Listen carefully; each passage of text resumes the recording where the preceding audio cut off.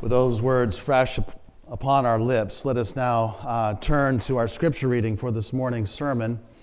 Uh, we return again to the book of James between Hebrews and 1 Peter. Between Hebrews and 1 Peter, you find James.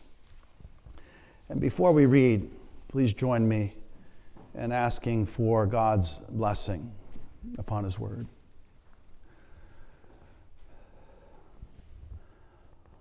Our Father in heaven, what a privilege is ours to be with you again today, and what a privilege is ours not to imagine who you are or what you have done, to imagine what you are doing, but to hear from you uh, your, your, your truth and your goodness and the glory that you have in store for your people.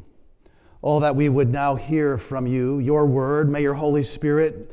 Uh, Open our hearts to receive what you have for the churches, for our Grace Church, for each of us here.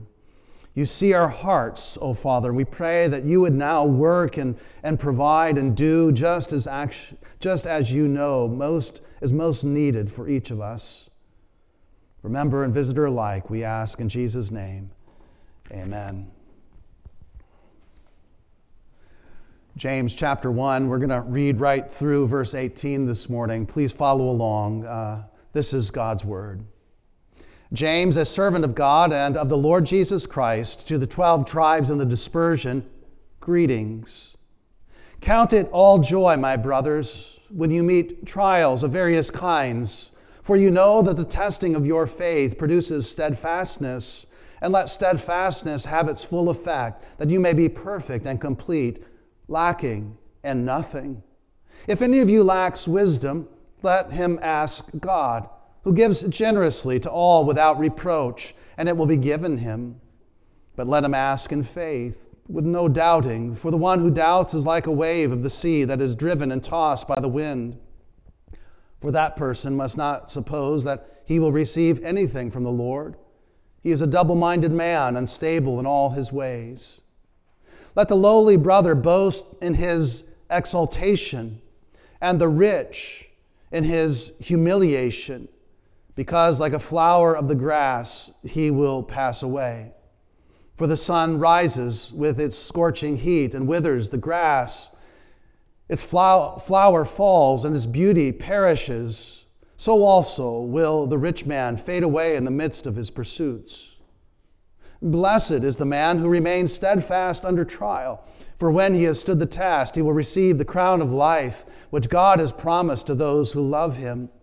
Let no one say when he is tempted that I am being tempted by God, for God cannot be tempted with evil, and he himself tempts no one. But each person is tempted when he is lured and enticed by his own desire. Then desire, when it has given, when it, con- when it has conceived, gives birth to sin and sin, when it is fully grown, brings forth death. Do not be deceived, my fellow brothers. Every good, good gift and every perfect gift is from above, coming down from the Father of lights, with whom there is no variation or shadow due to change. Of his own will, he brought us forth by the word of truth that we should be a kind of first fruits of his creatures. So far, the reading of God's word. Please be seated.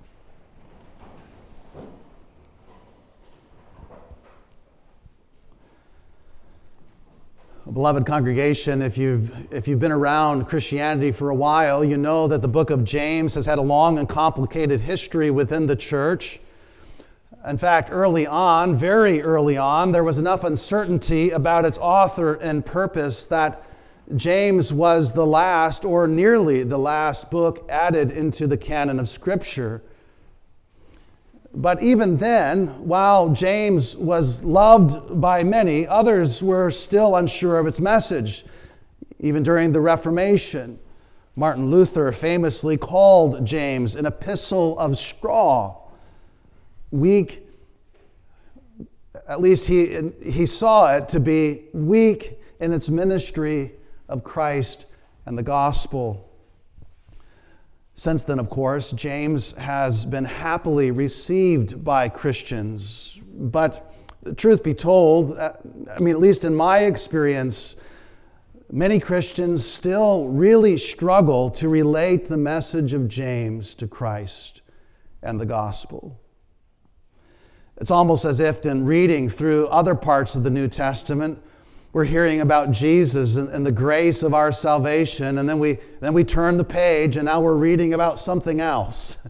we're reading James. As we heard last week, however, the, the key to, to understanding this letter is to recognize how it is grounded from the very beginning, the very opening statement. James, a servant of God and of the Lord Jesus Christ. You see, that's, that's the fundamental ground of James. He identifies himself as belonging to God, specifically belonging to Jesus Christ, the Savior of sinners. As we often say, I am not my own, but I belong, body and soul, and life and in death, to my faithful Savior, Jesus Christ.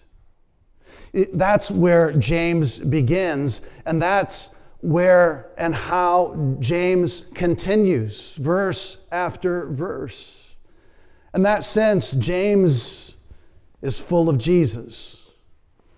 James brings to us the wisdom of Jesus, the wisdom of Christ. We could summarize some of those introductory matters of this, of this New Testament letter in terms of the author being James, the brother of Jesus, the audience being the church, particularly as it, would dis, as it was dis, dispersed among the nations of that time and place, facing, um, if not physical suffering, certainly social economic suffering, being marginalized in their society for the sake of Jesus. The author is James, the audience, the church. The message is wisdom, specifically the wisdom of Christ. As Proverbs comes and applies the Word of God and the wisdom of Old Testament literature. Now James comes and applies the word and wisdom of Christ through the New Testament. That was some of what we heard last week. How the wisdom of God has now become the wisdom of Christ, the wisdom of Christians, the wisdom of the cross. The wisdom of the cross. That's, that's really the message of James. And this morning, what we do is continue our study now, going a bit deeper into this wonderful letter, this wonderful book, by considering now not so much the author, audience, message, but now more of its, its content, its main themes. This morning, the main theme of blessing, the blessing of James, or the blessed man of James there are some parallels between the Old Testament blessed man and uh, the New Testament blessed man. But as we would expect, with the coming of Jesus, the ministry of the new covenant, there's a, there's a lot of rich, wonderful, exciting development. Development from old to new.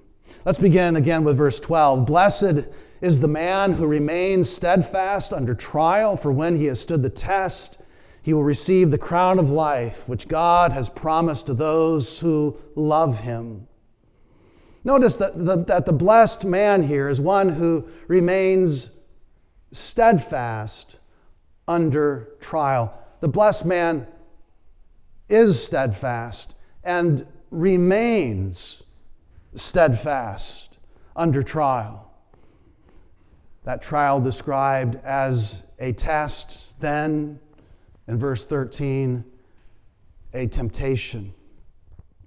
The blessed man of James is the Christian who loves God at the commencement of faith, the beginning of new life, and throughout the end of life.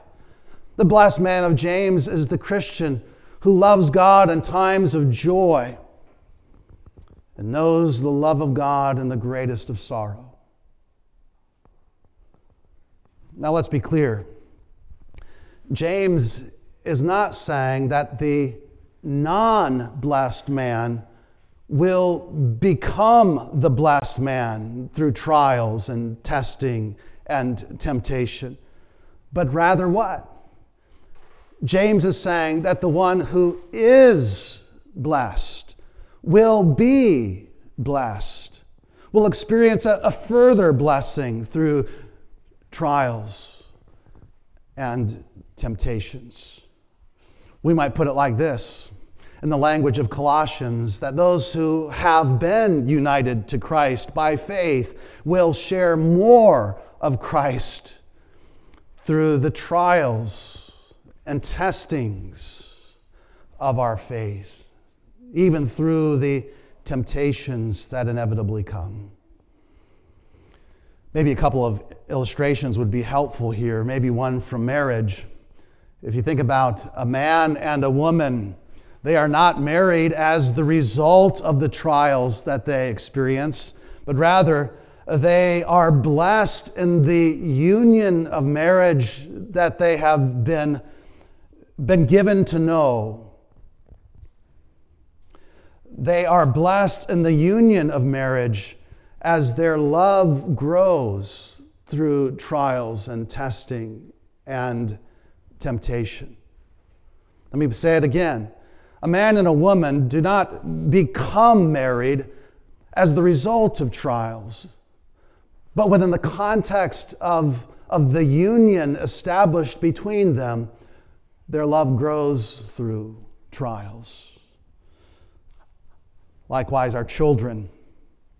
I don't say to my kids, uh, I'll be your father after you grow up.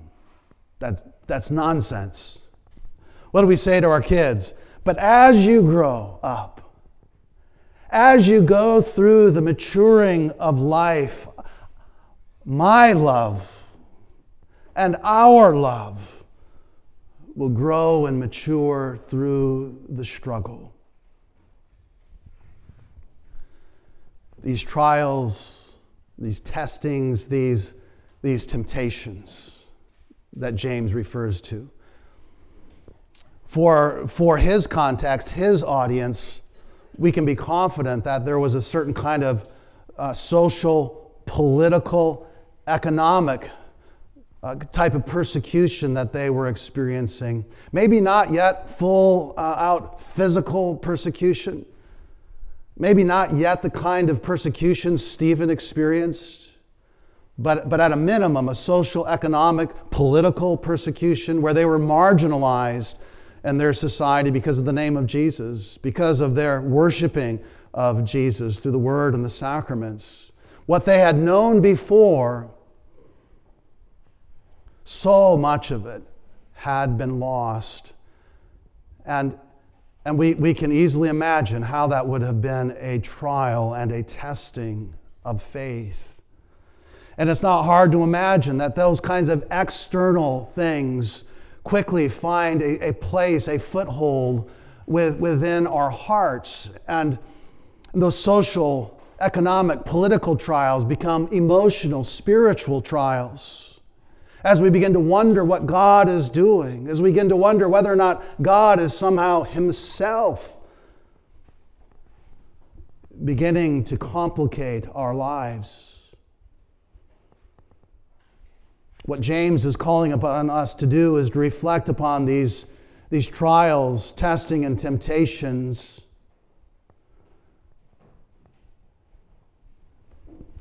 And to think about them as a way that God works for the strengthening of our life.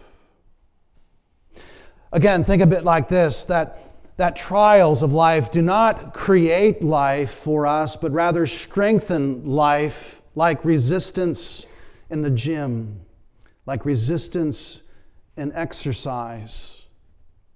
Likewise, testing. These testings described here, they do not give life, but help us to evaluate what needs improvement in the life that we've already been given. And in this way, the temptations that we face are not a means for us to gain or get new life, but rather that through which we express, strengthen, and improve the union and life we already share with Jesus Christ.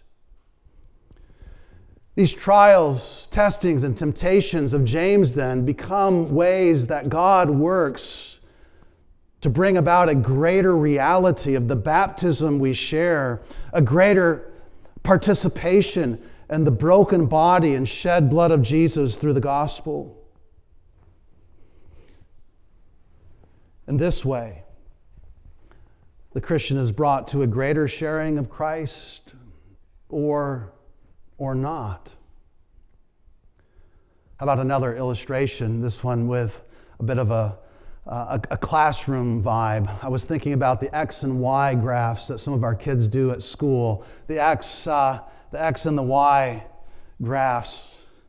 Um, the, one, the, the, the graph that I, most readily comes to mind for me is a straight line. You know, it could be just a straight horizontal line, I suppose, but usually when I was doing those graphs, it was, it was uh, X and Y on a straight, straight line uh, of growth. We can, we can plot and graph life. If we think about Jesus, for example, and we would try to plot and graph the suffering that Jesus experienced in life, the, the trials, the testing, the temptations. From the moment of his conception, it was real. And day by day, it became really, really hard. Until what began as real suffering became the greatest of personal suffering of, of, being forsaken by the one he most knew and loved, as he cried out, My God, my God, why hast thou forsaken me? You see, that's how we might graph the suffering of Jesus from his earliest of days towards the end, that straight line of increased suffering. Now, if we would graph the righteousness of Jesus, it would be the same, wouldn't it?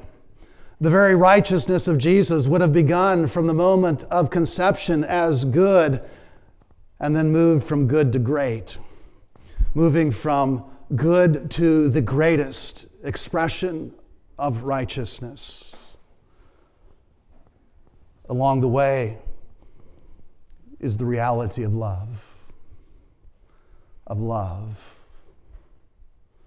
Likewise, a greater experience of love. How about you and me?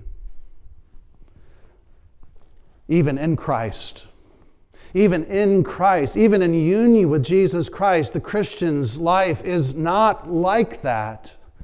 Whether we seek to plot out our suffering, our righteousness, our life, we don't have that, that straight increase of, of experience, do we?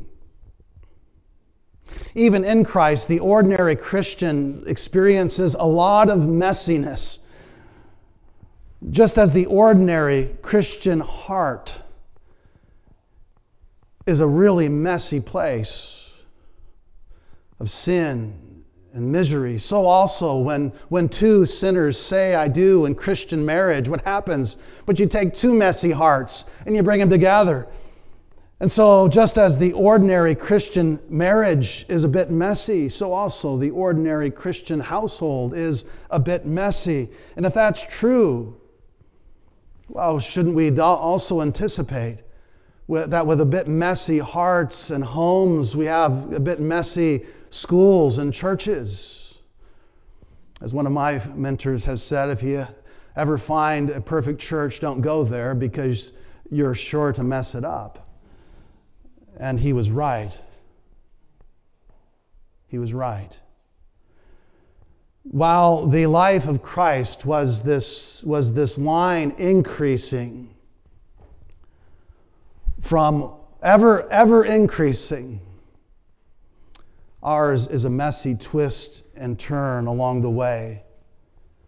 Of course, as Christians, we celebrate the justification that is ours in Christ, never increasing or diminishing, but a present eternal reality that the sinner has been justified once and for all. We celebrate the justification that is ours in Christ, even as we face the daily trials of sanctification, the tests of our faith, the temptations that sin bring. And we do so. James wants us to do so as the blessed for a greater blessing, as the loved for a greater sharing of love from the, from the joy of new life in Jesus Christ to the greater joy that is to come in Christ. As it says in another place, from one degree of glory to another. But it's not a straight line. It's not a straight line. The Christian life faces so many twists and turns that we may be tempted to doubt God Himself.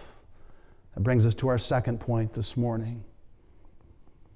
Let no one say when he is tempted, verse 13, let no one say when he is tempted that I am being tempted by God, for God cannot be tempted with evil, and he himself tempts no one. But each person is tempted when he is lured and enticed by his own desire. Then desire, when it is conceived, gives birth to sin, and sin, when it is fully grown, brings forth death. What is James doing? He's developing the need for wisdom. The letter of James begins with an appeal to our trials and the need for wisdom. And, and this same beginning and introduction is restated with an appeal to trials and the, and the need for wisdom. He's saying that the blessed man is blessed with wisdom. The blessed man is blessed with wisdom. The one in union with Christ through faith shares not only in the word of Christ, the gospel, also the wisdom of Christ and the cross. Remember earlier in the letter, after speaking about the trials and testing of faith, in chapter 1, verse 2, James goes right, right to the, the, the appeal to wisdom, saying, Ask God for wisdom, emphasizing the need for us to grow in wisdom. And he does so here again because he wants us to see that without a maturing of faith into a growing of wisdom, we will think that the testing of our faith is from God Himself. We'll come to think that we are being tempted by God. And what happens when we think that way? We will begin to question the love of God and we will begin to question our relationship with God. Oh, I've been there in various ways. And as I walked with the saints, I know that many of you have been there in various ways. When the trial and testing and temptations of life come, we can find ourselves so weakened, so weary, that we wonder, where is God? But James comes and he says that God is not only with you, God is ever present, lovingly allowing, lovingly allowing the, the trials of life, even the temptations that come. If he didn't do that, then God would be either a, pro, a, a, like a computer programmer who puts in place a program and hits send, stands back and just lets everything follow in line throughout history. God would either be a computer programmer or he would be a slaveholder. forcing our wills to comply unto his own. But through the lens of James and the wisdom that he calls us to pursue, we come to see that God is not only reigning, he is also presently with us, lovingly allowing the freedom of trials, even temptation, not himself bringing those temptations because he never woos us into temptation. That is not the place of God, but of sin and of Satan, isn't it? And so the blessed man then will seek the wisdom of God. The blessed man, James says, will seek to understand these nuances and distinctions that we would understand and that we would even rejoice. It's good to ask is it an appeal to the wisdom of Proverbs? Is that where James is going? Calling upon us to go back to Proverbs? And the surprising answer is no. You see, Proverbs helps us to understand how God has established and preserves the created order in a fallen world Proverbs comes and it says, This is how the world works. Proverbs says, Listen to me, learn from me, and, and you will gain the wisdom to prosper among your peers. In that sense, we might say Proverbs is the wisdom of common grace with anticipation of the redemption to come. James is not calling us to go back to Proverbs, but rather what James is doing is calling us to consider the Word of God in Christ and the wisdom of Christ and the cross. We might call that the wisdom of saving grace. As if Proverbs uh, is the wisdom of common grace, the wisdom of Christ, the wisdom of James is saving grace the wisdom of saving grace. I think of it like this that Jesus in the incarnation steps into the world of Proverbs. He embraces it and then speaks towards a spiritual flourishing, not at the expense of our physicality. Jesus in the incarnation embraces it and then speaks to a spiritual flourishing. Jesus says, Listen to me, and the Holy Spirit will grant unto you the very riches of heaven. Jesus, you see, then is speaking about the wisdom of the cross. The wisdom of the cross. The wisdom that, that celebrates what it is to be justified my sin, oh, the bliss of this glorious thought, my sin, not in part, but the whole, has been nailed to the cross, and I bear it no more. Praise the Lord, praise the Lord, O my soul. It is the wisdom that celebrates our justification, and it is the wisdom that celebrates our sanctification. For the joy set before him, Christ endured the cross,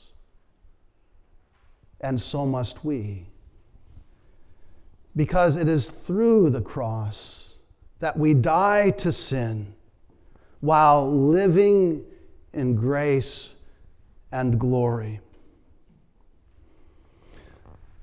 Another pastor, teacher, professor named Richard Gaffin wrote about this wisdom of Christ speaking about the wisdom of the cross. He calls it the usefulness of the cross. And in, and in, and in classic Gaffin language, he says that the, that the preeminent sign of eschatology is the cross of Jesus Christ upon Christianity. Drawing from 2 Corinthians chapter 6, he writes, that the very essence of Christian existence is dying and yet living, sorrowful yet always rejoicing, poor yet making many rich, having nothing and yet possessing everything. James says, the wise, the blessed man will have the wisdom to understand this. Our children don't have that yet.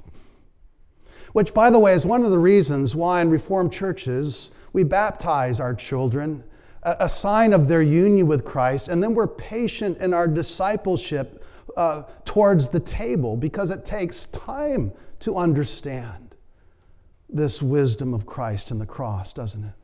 It takes time for us to understand the true power of his broken body and shed blood.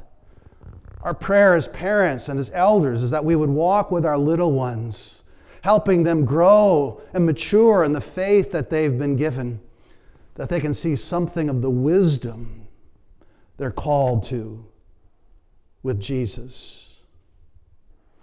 James says that the blessed man will understand this. The, the, we might put it in terms of the negative and the positive of the cross and our sanctification. The negative and the positive of the cross and our sanctification. The negative is described in verse 14.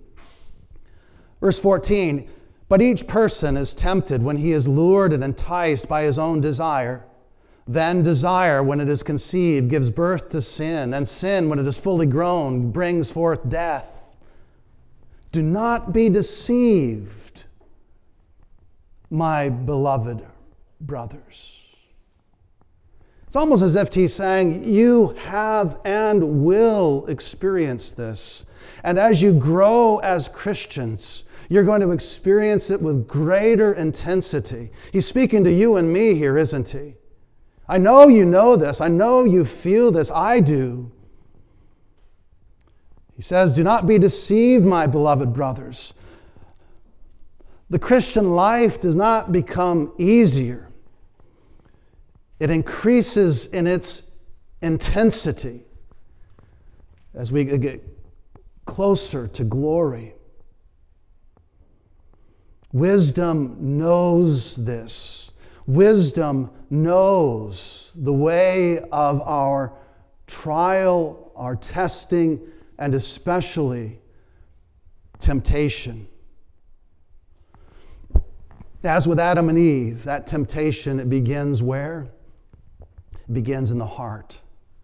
As we are lured and enticed by our desires.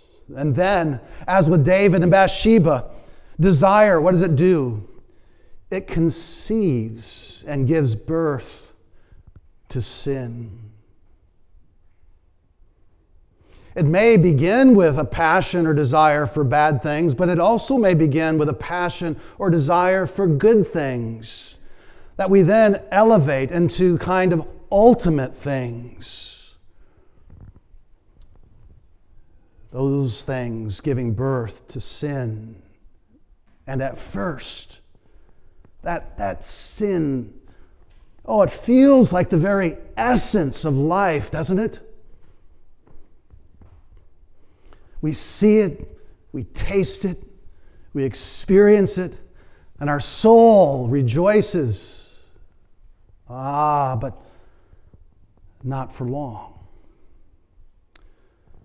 Because in time, as that sin grows, what does it give? But it gives death.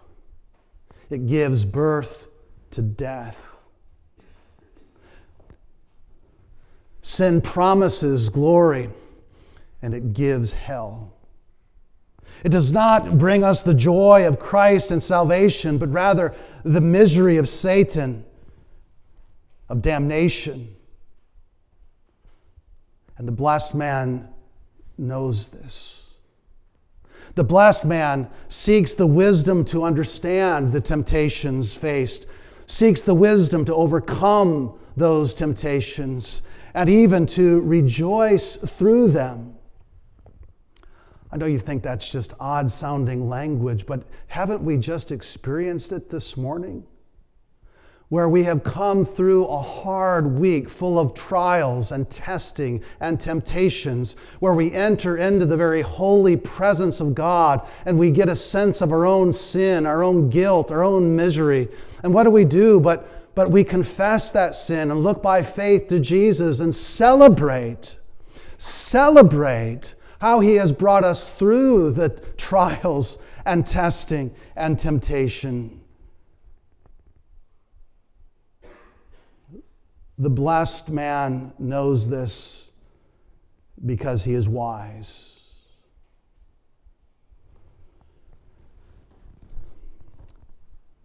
And the blessed man knows he grows in that wisdom because of God.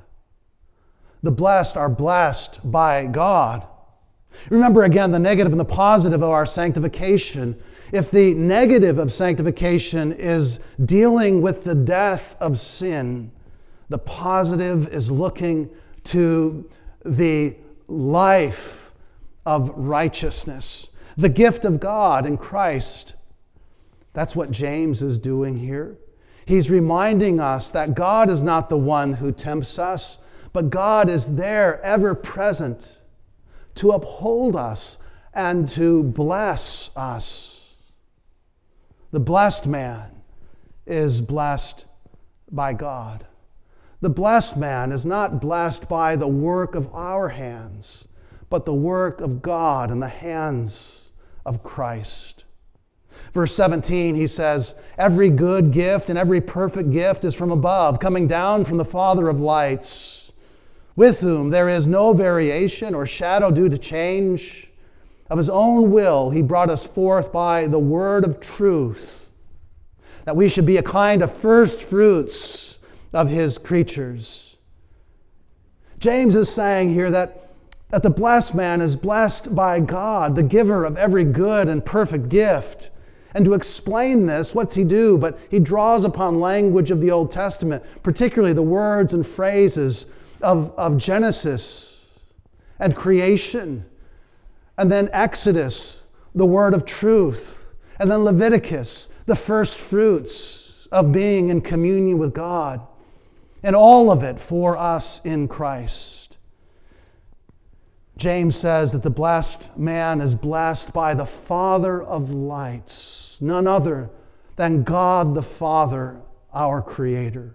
James says that the blessed man is blessed by the word of truth, none other than the Word incarnate, our Lord and Savior Jesus, with whom we have been brought forth from death into righteousness and life.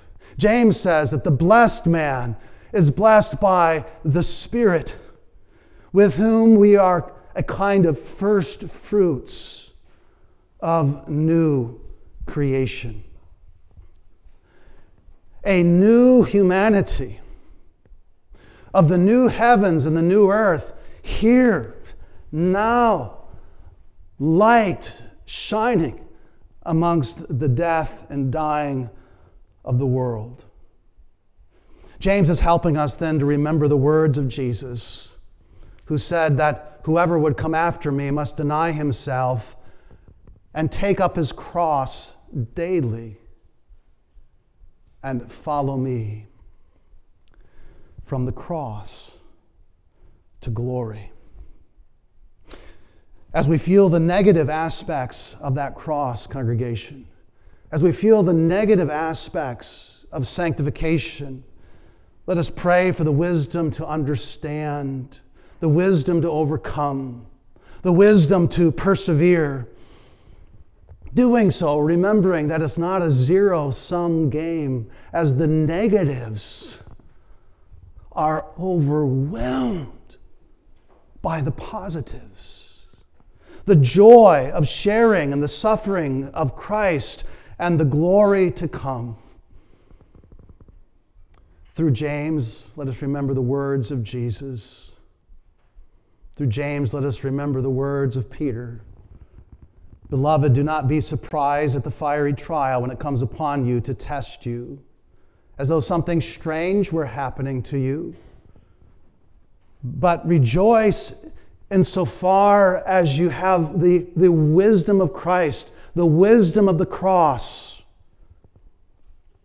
sharing his sufferings, that you may also rejoice and be glad when his glory is finally revealed. Oh, beloved, I know that you come from a week of trials and of testing and of temptation. Let us not doubt God in these moments. Let us rather bring our cares, our, our anxieties. Let us bring Him our sin and our misery. Let us bring it to Christ and leave those things at the cross. And let us go forth now rejoicing in our justification. And by His grace, even rejoicing through the sanctification we experience, knowing that, that in Him it is the true sharing of a far greater glory to come. Amen. Our Father in heaven, we thank you again for your word, and we thank you that that word you have spoken long ago has been fulfilled through the life, death, and resurrection of Jesus. Oh, how we thank you for the word of Christ, the gospel. And, and we pray now that you would grant the Holy Spirit to help us know, understand these things, and grow with that Christ like wisdom to embrace the cross from day to day, that we would have the grace to die to ourselves, our own personal hopes and desires, and then live more in Christ, knowing His will, embracing His will. Grant us comfort and confidence along the way. Grant us, O oh Lord, we pray, to be faithful for Jesus' sake. Amen.